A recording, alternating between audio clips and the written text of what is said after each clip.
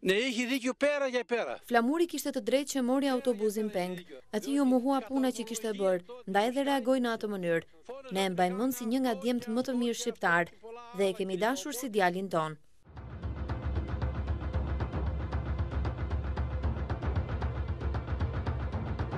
Pamjet tragjike të rrëmbimit të një autobuzi udhëtarësh, të shfaqura drejtpërdrejt nga mediat greke, kanë rikthyer dhe një herë legjendën e Flamur Pislit, 24 vjeçarit nga fshati Patin i Matit, që u vra 15 vite më parë në fshatin Fikas të Elbasanit. Pa dyshim është një nga ngjarjet më të bujshme të 20 viteve të fundit. Është një nga ngjarjet e cila dëshmon se çfarë ndodhte me emigrantët shqiptarë jashtë vendit, si e përjetonin ata emigracionin.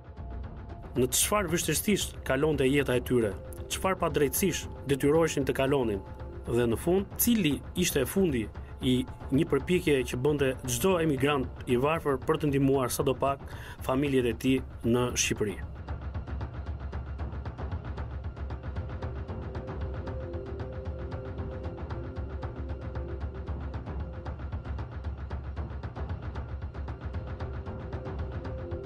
Emisioni Xhungul sjell një investigim në lidhje me atë që ndodhi 15 vite më parë.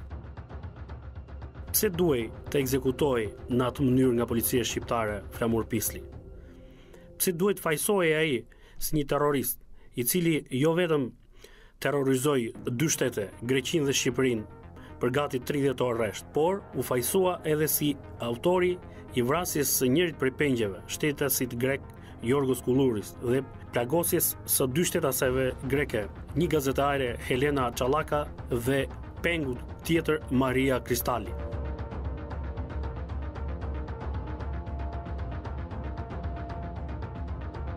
Qysh nga ajo kohë e deri më sot për djaloshin nga Mati që pushtoi faqet e para të gazetave, i veshur me një bluzë ku shkruhej Street Hero apo Heroi i rrugës, janë realizuar filma dokumentarë, filma artistikë, janë shkruar me dhjetra tregime, romane të përkthyera në disa gjuhë të botës.